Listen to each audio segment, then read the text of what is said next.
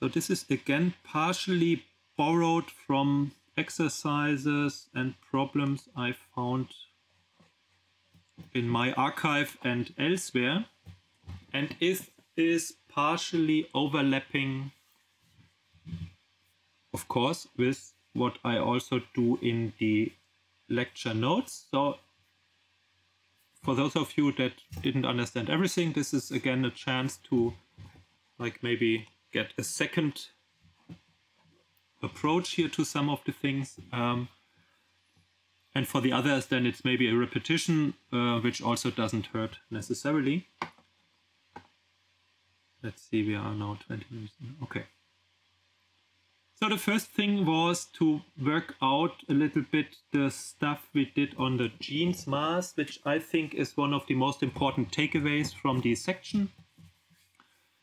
Um, on the collapse, because this is like Jeans length, Jeans, Jeans mass are the most commonly used guidelines or criteria to assess whether objects are stable, unstable. Always recall that we are in astronomy, uh, astronomy here, and that means we are entirely not concerned with factors of two factor of two is like unity is one. there are so many unknowns and uncertainties in all the assumptions in everything that if you if you like recompute anything or, or recreate a number to within factor of two, you hit it. Yeah, so that's the same. Um, so that makes these Jeans mass estimates so important because we see, okay, are we talking about 10 solar masses, 100 or 1000? So these are numbers or magnitudes that we are concerned with.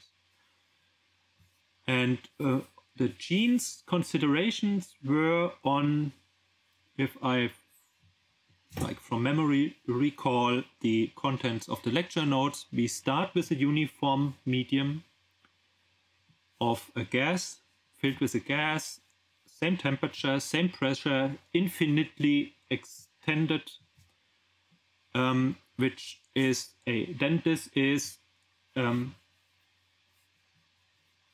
a stable configuration. There is this Jeans paradox involved that this stability is an illusion because it immediately breaks down if we give up the assumption of an infinitely extended volume because only in an infinite volume gravity will cancel out at all points from all directions. The moment you have not an, a finite volume, you have an edge, and at this edge, gravity is only coming from one direction, and it it's very difficult, and and the and the physics changes, or the consideration changes. Um,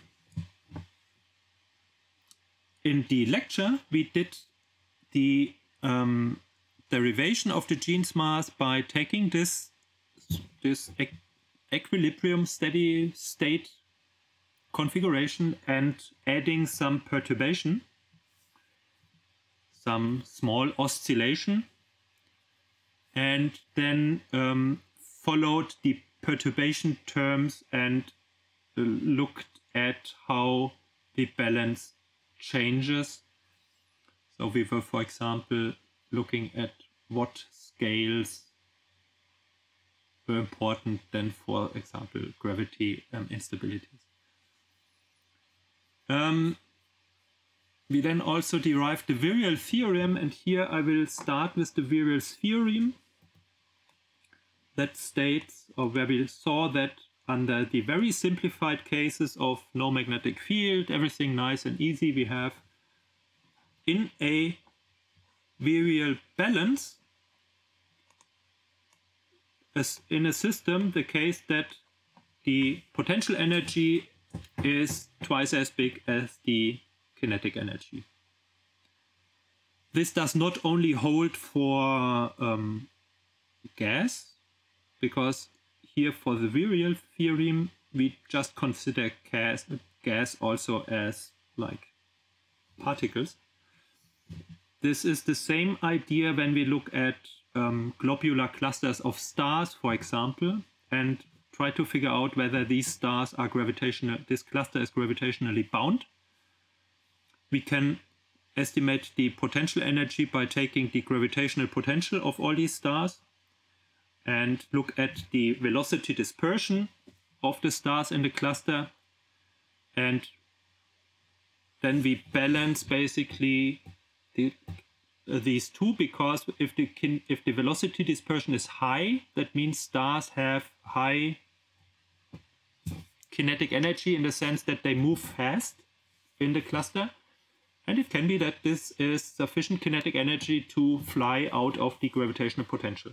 So and if overall the, the, the dispersion is uh, the kinetic energy defined by the um, like one half the stellar masses times the dispersion squared is half of the potential energy. On average, the stars are not uh, fast enough to escape the cluster.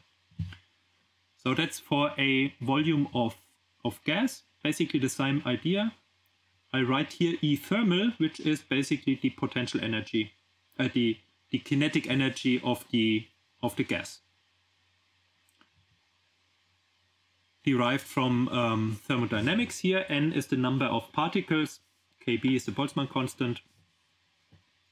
On the right hand side, this is the gravitational potential for a spherical configuration.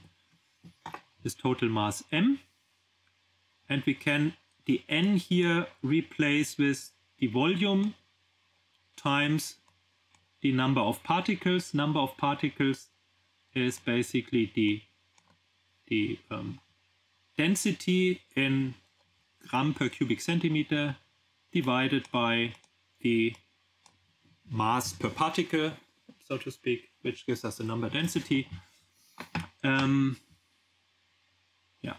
and from this, we can rearrange basically um, the formula to derive the Jeans radius. This that follows from this um, condition here, so from the stability, for a certain temperature and a certain density. So you can you see here on the balance that if you increase the temperature, the kinetic energy goes up and particles will be able to escape. If you increase the density, the gravitational pull will increase and the you, you need more kinetic energy to balance this again. So in case we have a balance, this size is entirely determined by the temperature and the density. Now, what we totally ignore here is any other physics that might be at work. So we can have an ambient medium where we, we can have an ambient pressure, we can have magnetic fields, we can have like a, a gazillion of things. We ignore them here. Okay? So that's the size of this spherical vol stable volume. This is the size of a cloud with a temperature T and a certain density that will not collapse and form stars. If it's larger, at this temperature and this density, it will have more mass and therefore it will be unstable and collapse. If it is smaller, it will, be, will have too little mass and it will start to expand. And this mass then can be converted to, uh, this radius can be converted um, to a mass. This is the Jeans mass. So, as I already mentioned here, though this is basically the answer to the part B. When we, when we are above or beyond these numbers, we will either start to collapse or start to disperse. So when we now put in some temperature that are typical in the interstellar medium, let's say 15 Kelvin temperature and the density of 100 particles per cubic centimeter,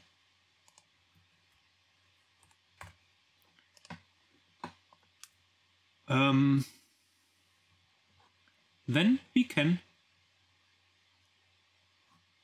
compute what is the stable mass of this blob. So I take here this formula and just put in the numbers. So this is the Boltzmann constant, this is the kinetic temperature, the gravitational constant. We are working in uh, CGS units here. This is uh, the factor, this is the mean number of particles per hydrogen. And this is the, the, the proton mass, so the mass of one hydrogen atom. And here we have the number density and again the mass.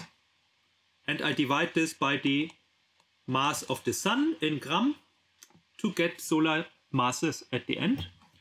And putting in these numbers here, uh, where are we? Here is 400 solar masses. So 400 solar masses is the Jeans mass for this density and this temperature. So what we have is a giant molecular cloud that is maybe 1 million solar masses. Like four orders of magnitude, three to four orders of magnitude higher than this. So you can now take basically the um,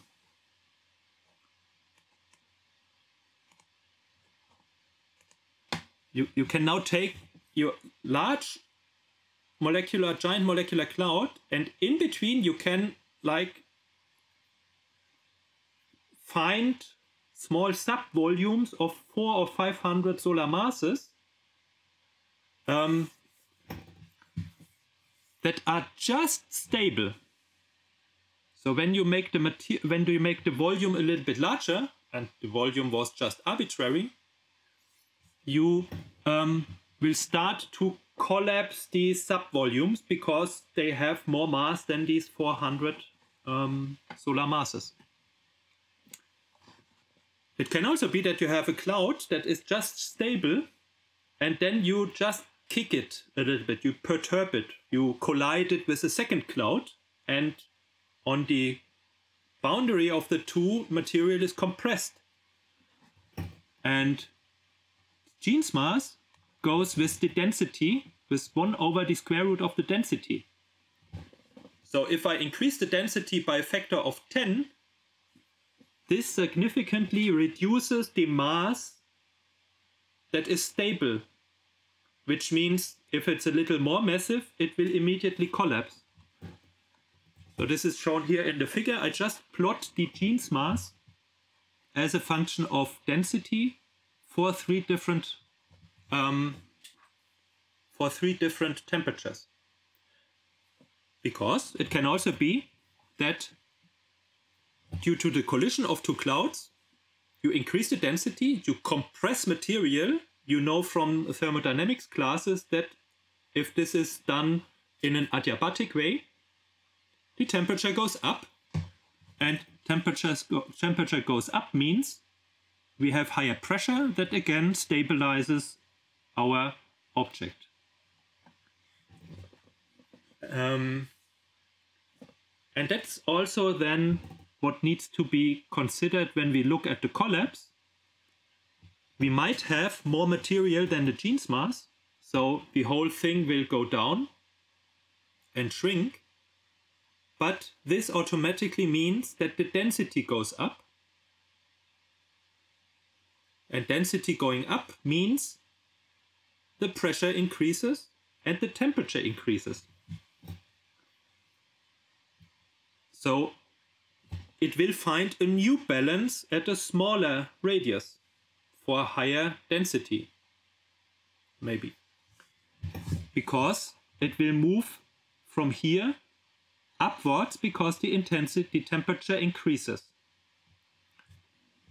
And then the crucial question is whether we might get rid of the energy that is now higher, that has now a higher energy density in the smaller volume. So can we reduce the temperature again? When you have your air pump to um, pump up the, um, the, the tubes of your bicycle and you hold the exhaust valve closed, you can either compress the air fast, then the air heats up in your pump, or you can do it very slowly and the pressure does not go up and you can compress the um, pump much more easily. And that's the difference between adiabatic and isothermal um, um, conditions or uh, processes.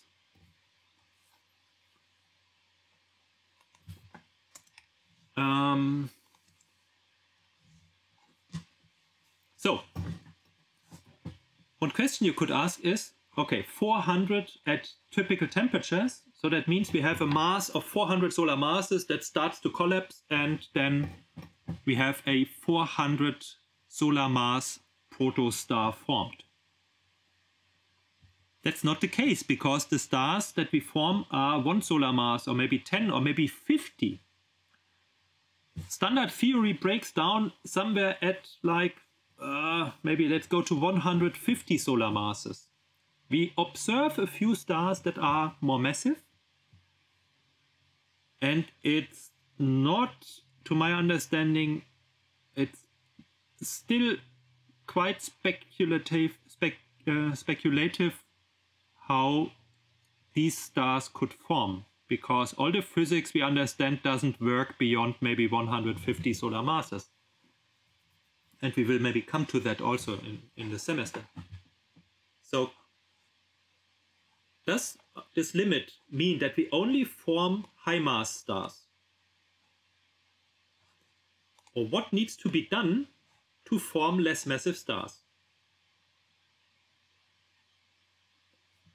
So why does a, a, giant molecular cloud with 1 million solar masses not just collapse into subvolumes of 4 or 500 solar masses and form maybe 2000 um, uh, 500 solar mass um, supermassive stars?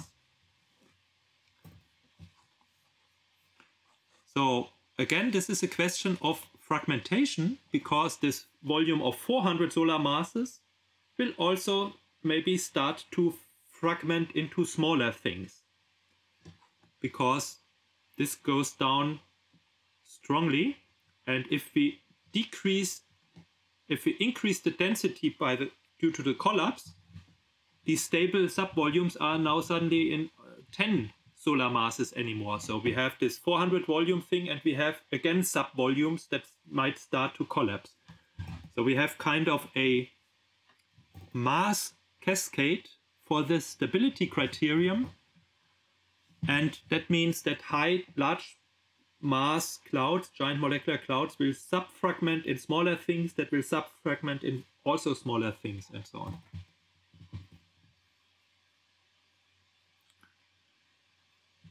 So that's the effect of this Jeans mass behavior.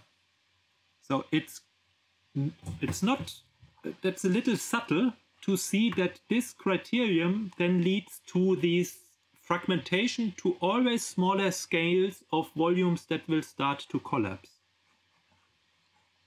Um, so what I, what did I write here? So I have some. Is this now? In, in everything I told you and also mentioned in the lecture, you, one would be like uh, think that, okay, so if we take a giant molecular cloud and just disturb it a little bit, this will set up kind of this cascade of fragmentation and at the end all the gases in stars. And this is not happening. If this was the case, this process would be super fast, like one or two freefall times, a couple of 100,000 years, and maybe after 1 million years, all the gas in the Milky Way would, would be put into stars and there's no gas left. And this is not the case. We have a significant reservoir of gas in the Milky Way, this which is not used up in a super fast rate. So what we find is that only 1% of the cloud of such a giant molecular cloud is actually converted into stars.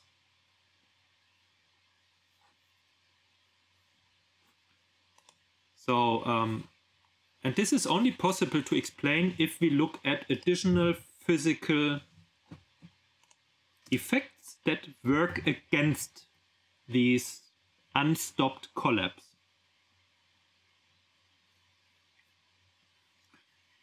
So here in this section, I'm just taking the Jeans mass and look at how does the Jeans mass finally scale with density.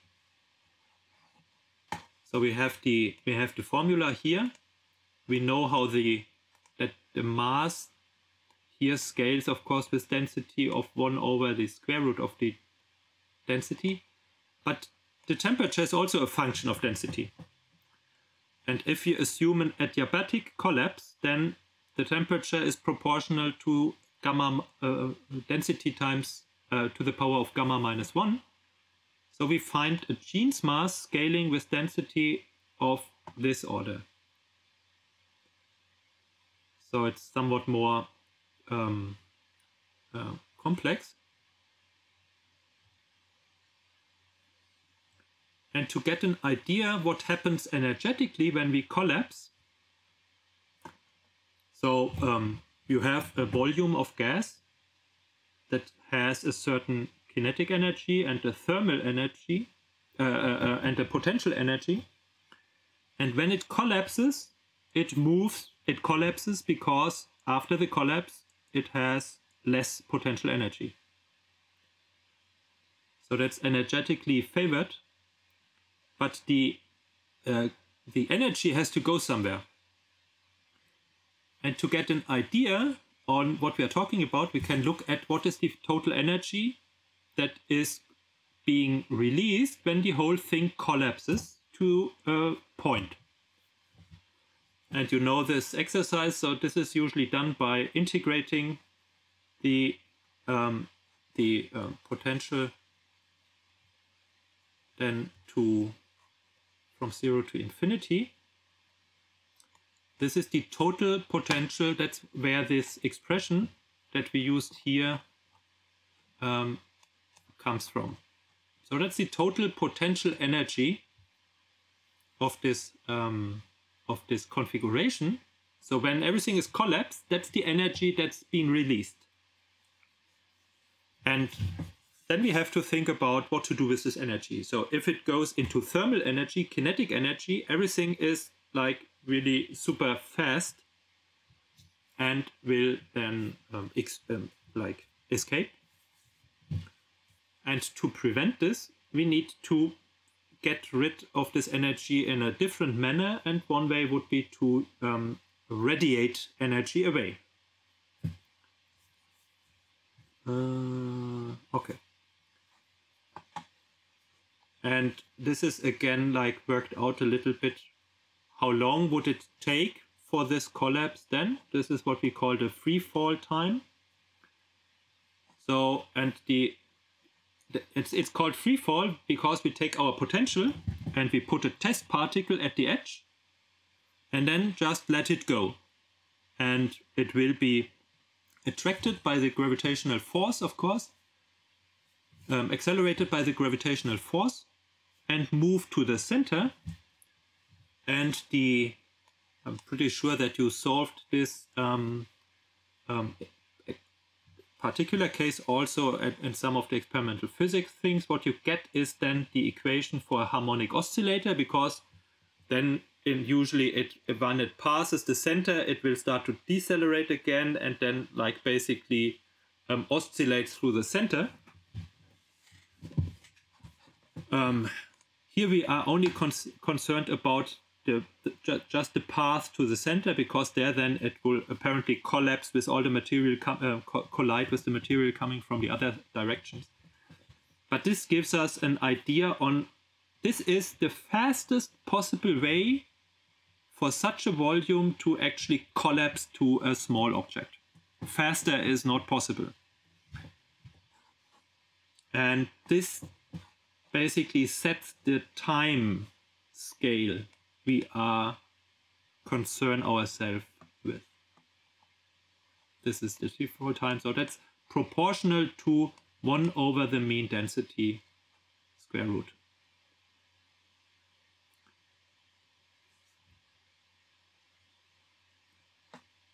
So if we can get rid of this energy by radiation, the luminosity that this will produce, so the total radiation energy corresponds basically here to the potential energy, to this number. This will be just converted into radiation. And that's about proper, uh, yeah, so that's the total radiation energy. So uh, I have to be clear here. The luminosity is taking this energy and dividing it by the time because luminosity is radiation energy per second. So when we can when, when, when we produce this luminosity of our collapsing cloud, we can keep the temperature constant and have an isothermal collapse because all the energy that would increase the temperature is just radiated away. If we can't do this, then we will have only a fraction of the maximum possible luminosity here. And so the luminosity will be smaller and the temperature will increase. And the collapse will be adiabatic or partially adiabatic. So that means the more massive, the more efficient we are in radiating energy away, the more mass we can actually put into the central position. And the more inefficient we are in radiation the energy away, the the the smaller material, um, the the less uh, mass can be um, can be collected in the center, because we will stabilize again. So this sets kind of a minimum mass scale of a fragment, and that's basically coming from this transition between the isothermal and the adiabatic collapse. So if we now just look at like a 10% efficiency at a temperature of um, 1000 Kelvin, we can um, we can compute like here this is the radiation energy. This is the surface of a sphere with radius r and this is the Boltzmann equation. So sigma b is the Boltzmann um, constant the temperature of the object. So that's the bolometric luminosity, the entire black body radiation of an object multiplied per square centimeter multiplied with all the, all the square centimeter we have gives the total luminosity. This is the gravitational um, energy here.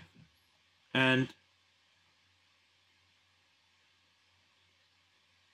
now when we when we insert everything, we can now compute here because we have this efficiency factor involved, compute the minimum Jeans mass for these conditions, and we find that the minimum Jeans mass is in the order of half the solar mass. So smaller objects will never be unstable. And this kind of sets also the mass of objects or the lower limit of of, of objects that we can actually form by a collapse. And that's not too unreasonable. So we have stars that are half a solar mass. We have smaller objects. So this is just a rough estimate. But it gives you an idea on how to actually form smaller objects. Okay. So if you have no questions to that, then we can look to a related case. We were, I think, also briefly derive. Did I do the Bonnor-Ebert sphere? I did this maybe in the last section. Um, so where we looked at the density profile that we find in such an isothermal sphere with constant surface pressure. And we, when we computed this, we saw that this has to be solved numerically, and from this solution we can we can compute a maximum mass because we can integrate the density profile. And this gives us a mass scale for this stable object. So we call this is Bonnor-Ebert mass. Um, and we can compare the scale here, what we computed in the previous section. So when we look at a surface pressure of 3 times 10 to the 5 Kelvin per cubic centimeter, so some concept in interstellar medium is that pressure is a strange concept if you only have a few particles per cubic centimeter, but nevertheless, it's basically the sum of the particle density times the temperature. This is the pressure. This is just the um, ideal gas law. So pressure times density is basically the pressure we have to divide by Carl-Boltzmann, but okay. Um, so when we have a density and a temperature, we get we have immediately the pressure. So we, we work this out, I think. If not, I give it just here. This is the radius of um, such a Bonnor-Ebert sphere. Cs again is the speed of sound. And we know, of course, the ideal gas equation, which is just um, given here P equals the product of N times T uh, and K. So we can insert this also in the sound speed, write it here,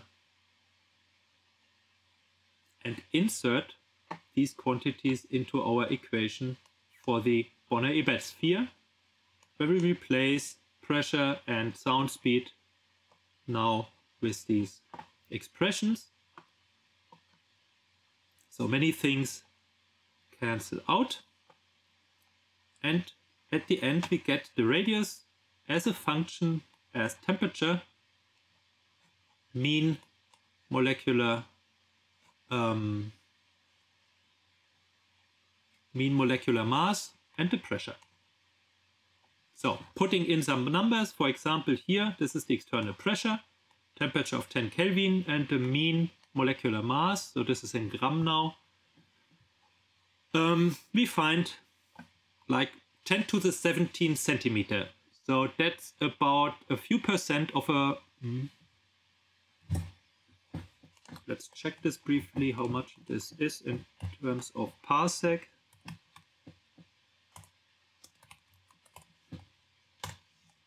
So 3% of a parsec.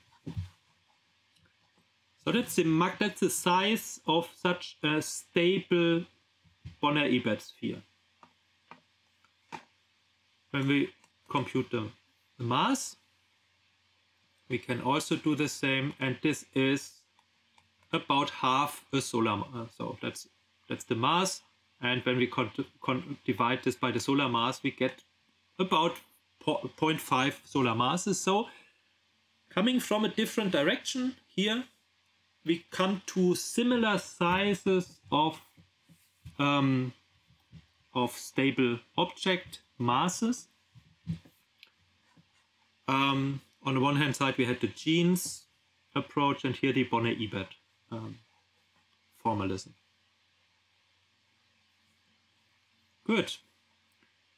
And in the last section, I just wanted to like discuss one of the consequences we saw when we computed the Bonnor-Ebert um, sphere, and that's the difference from our from our Jeans collapse thing. The Bonnor-Ebert sphere is not of constant density, but it has a density profile. So in the center it has high density, and the surface is it has a, um, a lower density. Um, so when we now, for example, take a molecule, so that means mm, we have a smaller volume in the center that has a much higher um, density than, for example, the surface region of these clouds where we have a lower density.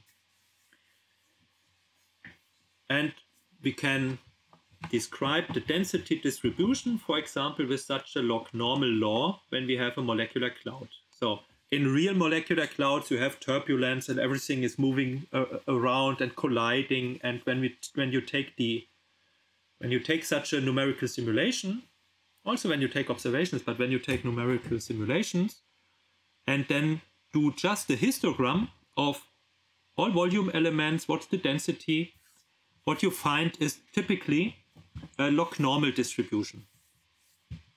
It can't be a normal distribution because this would allow theoretically also negative densities. Um, so it's it's a log normal. It's a it's a it's a skewed distribution with a large wing to high densities. So typically, uh, let let's pull up a plot so that you know what a log normal distribution PDF. Uh, log normal distribution, ähm, keine Ahnung, 1, 1.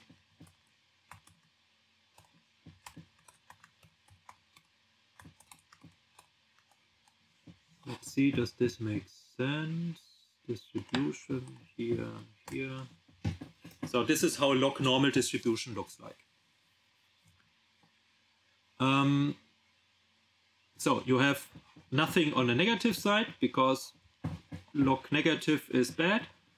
You have a strong peak here closer to the so very asymmetric um, distribution and you have a, a, a wing and the result is you have a clustering of objects around here the center of the positions of the distribution somewhere here but you have also a, a population that have significantly higher densities than this. So this typically shows up when you have turbulent material.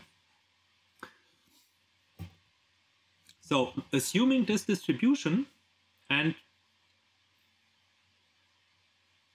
we can basically compute the fraction in our, of mass in our cloud that is above a certain um, density threshold. So for example, we can look at all the material that is denser than 10 to the 4 particles per cubic centimeter. It's basically here the area under this curve, so to speak. That's the fraction of all the particles. And when we know the total mass, we have the mass, gas mass with densities higher than 10 to the 4, 10 to the 6 or whatever. And that's interesting because we saw in one of the first lectures that we use molecular lines to detect the interstellar gas.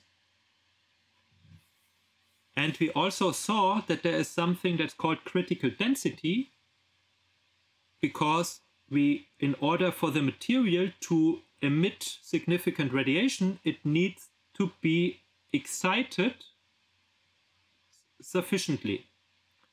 And excited sufficiently means we need a reasonable number of collisions to pump basically the excited energy levels so that they can decay and emit photons.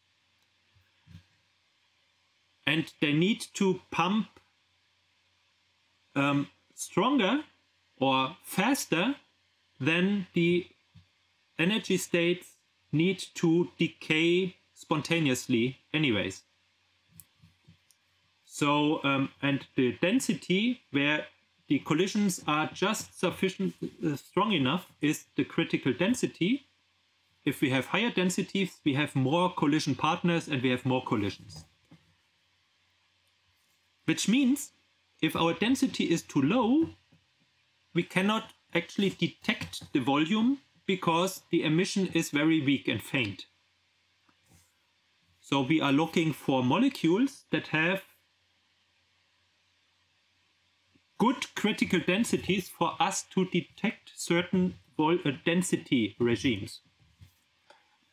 So, and when we look here at different molecules, when we look at the CO rotational transition from 1 to 0, the density is 2000 particles per cubic centimeter. When we look for the 4 to 3 transition, it's already 4,000, uh, 40,000 particles per cubic centimeter. And when we look at um, CS, we are in a similar range, but when we look at HCN, we need 1 million particles per cubic centimeter. So let's, for example, look at um, um, by I don't know what's the standard multi-normal distribution.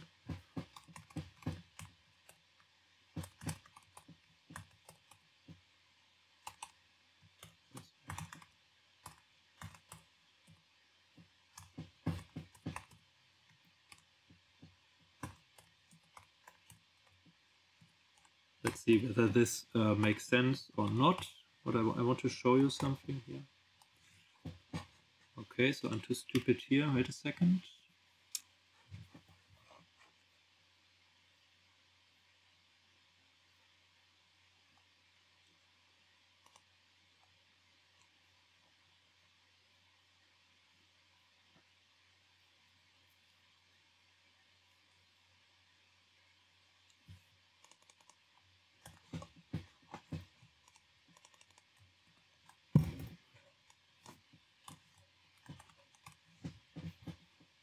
Okay, I need to give the covariance matrix here. Um, let's do this symmetric, symmetric.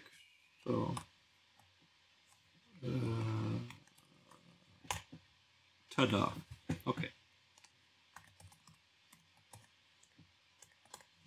So, let's assume this is the density profile of an individual cloud. Now, when we look at this, you see that in the center the cloud is high, that the cloud density is high, and on the outskirts it's low. And um, so when we when we look, so in the center part of the cloud we have a high density, and in the in, in, in the outer parts a, a low density. So when we now look at for example, HCN transition, and we saw that the critical density here is high, this means we will never observe HCN transition that looks like it's coming from the whole cloud, but we will have sub volumes of the cloud where the density is just high enough and they will emit the radiation. So these molecular clouds look different depending on what radiation we use to observe them. And we will have a, we will be seeing the um, dense core in HCN. And when we look at CO 1 to 0, we will just see the whole big cloud because the density is sufficient all over the place. Now, when we take here this density distribution of a cloud, which is just a statistical result, so this is just a, a certain density profile here, we can compute the mass fraction for our critical densities. So this is again here the PDF of this log, log normal thing.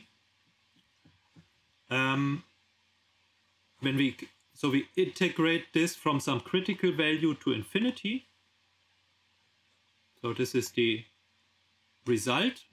Integrating a Gaussian gives you the error, the complementary error function. So you probably know this. Um, and when we put in numbers, So this is just a placeholder for, this is a complicated numerical expression and we don't have any closed algebraic solution to give you. So we need to put in numbers. When we put in numbers, we find, okay, when we observe in CO 1 to 0, this gives us access to about 50% of the total gas. And the other 50% have lower density. They are here on the left part, and we cannot observe them reasonably. When we go to 40,000 particles, we only observe 10% of the total mass reservoir. And when we go to 10 to the 6, we are only at 0.5%. So we don't do this. So depending on what tracer we use, we only observe a small fraction of the overall mass in the interstellar medium. So this is nice. We can selectively look at high density and low density gas, but it makes it very complex to derive global properties because, because we have to like consistently add up observations from many different uh, frequencies to get a full picture of the interstellar medium. And this is more complicated because what I ignore here is that for our radiation, we also need temperature. So this has an excitation temperature of 5 Kelvin. We saw it earlier, this has a temperature also of 5 Kelvin. This has a temperature of 40 Kelvin or so, I have to look this up. So we are not only looking at differently dense material, but we also need, this is convolved with the problem of that we also need a sufficient temperature. And then if we figure this out, we have the problem that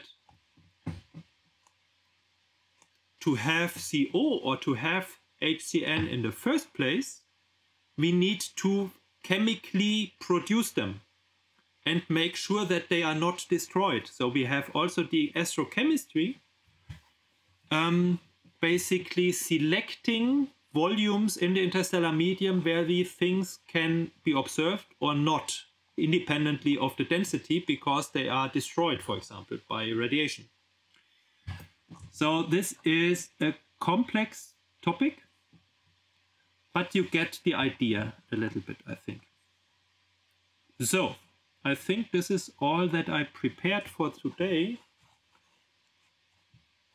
Is there any remarks? So everybody is still there. That's nice. Um, are, are, there any remarks, questions, additions? Um, do you want, so if you have, like, if you want some particular topics in these Q&As, you can also contact me and I can try to work this in. We can also discuss this now, well, at least what I presented today. So if there needs to be some additional clarification also, or maybe I made a mistake somewhere, entirely likely. Um, no? Okay.